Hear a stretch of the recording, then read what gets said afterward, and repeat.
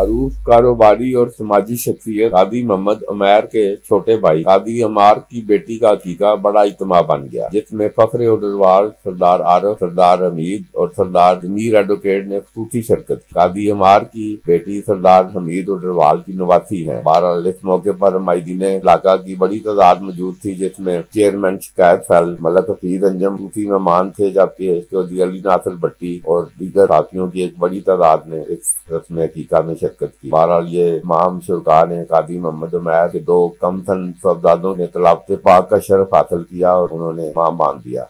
तो बहरहाल ये एक बड़ी भरपूर तकरीब इधर कादी अमार की बेटी और कादी मोहम्मद उमैर की भतीजी की रस्म टीका के हवाले से ये इधर मुनद हुई है।